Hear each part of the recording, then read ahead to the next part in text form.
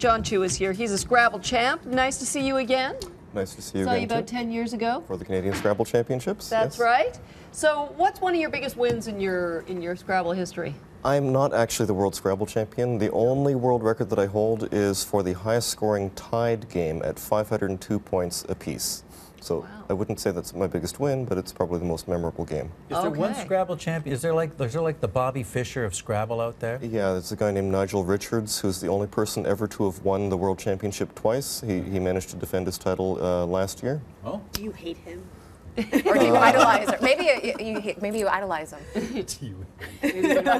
My, my favorite uh, World Scrabble champion is one of the Canadians, a guy named Adam Logan, who's a mathematician out of Ottawa, and I hope he wins it again sometime. But he's, uh, he's a, Scrabble players tend to be uh, overly uh, focused on the game, and uh, that can lead to some personality quirks. But in some case, in some people's cases, it works, and in some people's is cases, it doesn't. psychological interplay when you're doing Scrabble? Can, can you intimidate There's an lot. opponent? Oh, sure, yeah. How do you do Poker? that? Well, uh, if, if you're playing the world champion and he puts down a word that you're not sure of, Yeah. Are you going to say challenge and, and risk losing a turn? No, he can get away with play, playing like seven But random that's tiles. cheating, isn't it? Putting down a word that doesn't exist. It's an element of the bluff. It's, it's one of the one of the big parts of the game. Have you ever used a bluff word? Does that happen very often? Oh, sure, yeah. I mean, I wouldn't I wouldn't use that against a newcomer at the Toronto Scrabble Club, but uh, but if it's someone that is stronger than I am, I, I would be willing to take a chance if it's my only chance of winning the game. Yeah. Or uh, So, I, wait a I- minute. You can put down a fake word. Is that what you're saying? yeah. And as long as I don't call you on it, it's good to go? Oh yeah, and there, and, there's, stands. and there are situations where it's know that. strategically important to do that at the end of the game. If a person might lose the game by challenging, then they might let it go. So you what's a bluff word? Yeah. What, There are slang words bluff words? Uh, no, but uh, uh, there, there are wor- there are lots of slang words in the dictionary. Uh, the words that aren't, the words that tend to get played as bluff words are words that begin with like re or end with er. Words where you might not be sure that it appears in the dictionary, even though you could think of a plausible definition for it. like schmoopy or something like that. No, I would challenge. you. Death suit. You're like, and no. But you also have to know your opponent because there are a lot at the top level. There are a lot of people who play top level Scrabble uh, without being fluent in English. Yeah. I'm thinking specifically of players from Thailand, and against them you have to think about their study methods, and you could get away with you. You might be able to draw out a challenge and a loss of turn from someone who. Um, with, a- with a common word like maybe thatch or something, T-H-A-T-C-H, uh, because that's too low probability a word to, to show up in Scrabble. You know who's really good at Scrabble? I know several people who are good at Scrabble. Dan, lot. Qu- Dan Quayle. Dan Quayle. Oh, Little- he's good little at po- potato.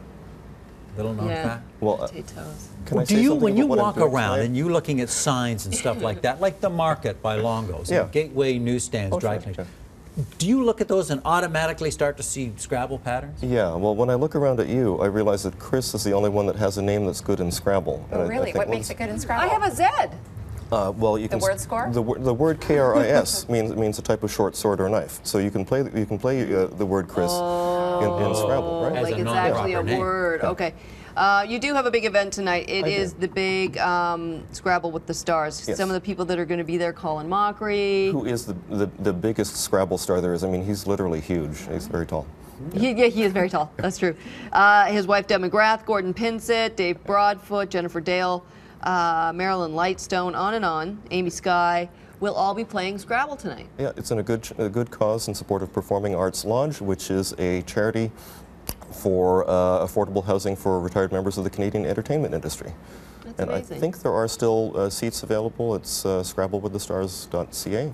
Are people very Yeah. serious about this? Uh, no, it's a lot of fun. You, you go there so that you can have dinner with your favorite celebrity, get their autograph, play Scrabble, have You fun. want to dig in there and like pull out a few tiles? This isn't one of those trick bags that has No, only it's E's gonna in get it or something. snap your fingers off. It's, it's Um, all A's.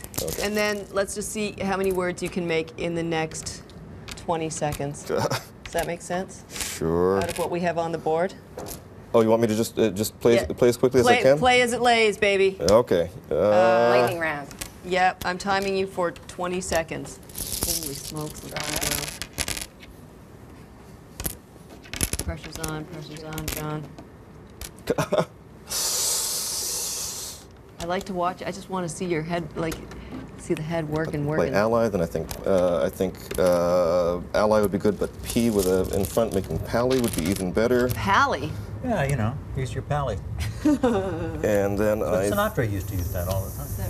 Is that right? think that if I do that, then I can maybe set up a score to come down here. Are you always thinking like three steps ahead though? Jeez. Like Well, what you can Looks like build on?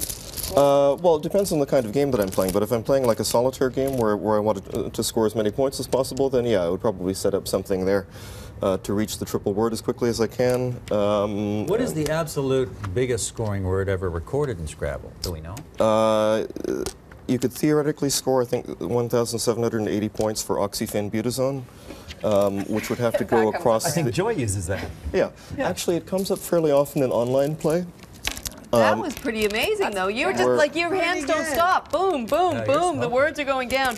As we said, the uh, Scrabble with the Stars is tonight. Go to morningshow.ca for more information. John Chew, good to see you again. Good to see you too. Rest. Thank you. Thank you, my friend. 8:53. We'll be right back.